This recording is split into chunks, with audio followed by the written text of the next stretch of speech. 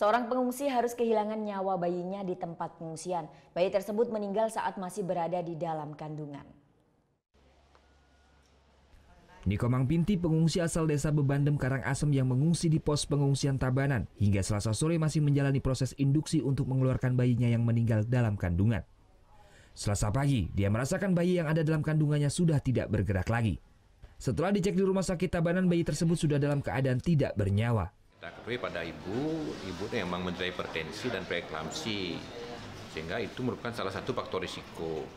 Nah kalau faktor kecemasan mungkin juga tapi eh, lebih kecil risiko itu lebih besar karena memang faktor ininya, faktor eh, hipertensi dan preeklamsi.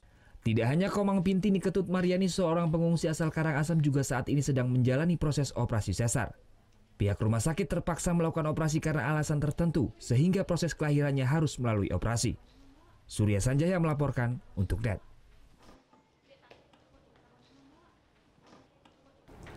Thank you. Eh, udah selesai nonton beritanya? Jangan pergi dulu dong. Subscribe dulu dan nonton tayangan lainnya di sini. Subscribe, nonton lagi. Subscribe, nonton lagi.